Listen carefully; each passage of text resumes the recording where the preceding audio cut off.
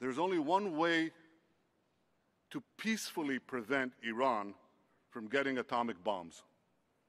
And that's by placing a clear red line on Iran's nuclear weapons program.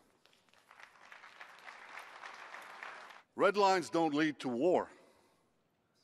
Red lines prevent war. Just look at NATO's charter. It made clear that an attack on one member country would be considered an attack on all. And NATO's red line helped keep the peace in Europe for nearly half a century. So, in fact, the only way that you can credibly prevent Iran from developing a nuclear weapon is to prevent Iran from amassing enough enriched uranium for a bomb. So, how much enriched uranium do you need for a bomb? And how close is Iran to getting it? This is a bomb. This is a fuse. In the case of Iran's nuclear plans to build a bomb, this bomb has to be filled with enough enriched uranium. And Iran has to go through three stages. The first stage, they have to enrich enough low enriched uranium.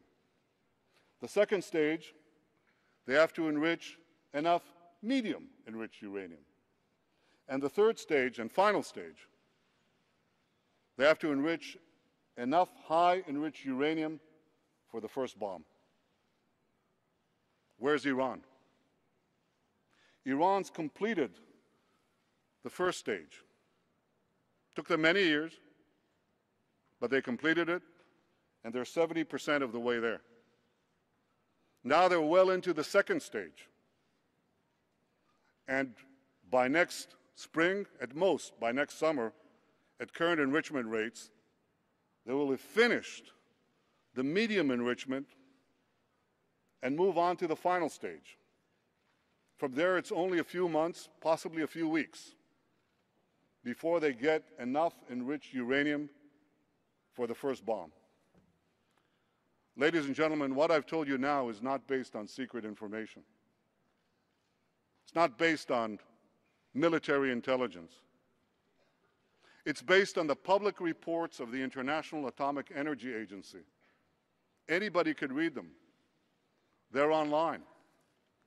So if these are the facts, if these are the facts, and they are, where should a red line be drawn? A red line should be drawn right here.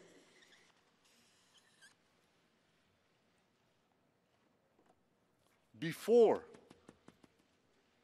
before Iran completes the second stage of nuclear enrichment necessary to make a bomb, before Iran gets to a point where it's a few months away or a few weeks away from amassing enough enriched uranium to make a nuclear weapon. Now, there are some who claim that even if Iran completes the enrichment process, even if it crosses that red line that I just drew, our intelligence agencies will know when and where Iran will make the fuse, assemble the bomb, and prepare the warhead. Look, no one appreciates our intelligence agencies more than the Prime Minister of Israel. All these leading intelligence agencies are superb, including ours. They foiled many attacks. They've saved many lives. But they are not foolproof. For over two years, our intelligence agencies didn't know that Iran was building a huge nuclear enrichment plant under a mountain. Do we want to risk the security of the world on the assumption that we would find in time a small workshop in a country half the size of Europe? Ladies and gentlemen, the relevant question is not when Iran will get the bomb.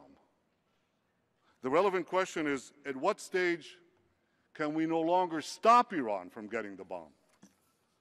The red line must be drawn on Iran's nuclear enrichment program because these enrichment facilities are the only nuclear installations that we can definitely see and credibly target. And I believe that faced with a clear red line, Iran will back down. And this will give more time for sanctions and diplomacy to convince Iran to dismantle its nuclear weapons program altogether.